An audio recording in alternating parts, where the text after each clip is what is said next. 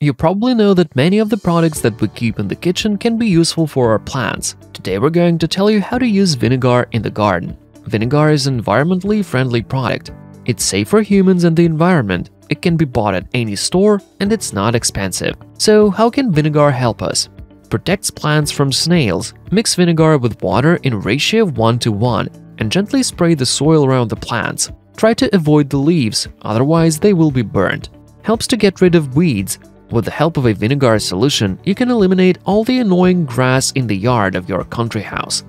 Add 5 tablespoons of the product and 2 tablespoons of salt to 1 liter of boiling water and pour the weeds with the resulting liquid. Make sure that such fertilizer does not get on the beds with crops. Drives away ants. In order for these insects to leave your garden, their ways and the ant hill itself need to be watered with undiluted vinegar. Increases soil acidity. It's no secret that some plants, such as strawberries and blueberries, grow better in soils with high acidity. Dilute 1 glass of vinegar in 4 liters of water and pour the plants. Increases seed germination. Vinegar acts as an effective growth stimulant.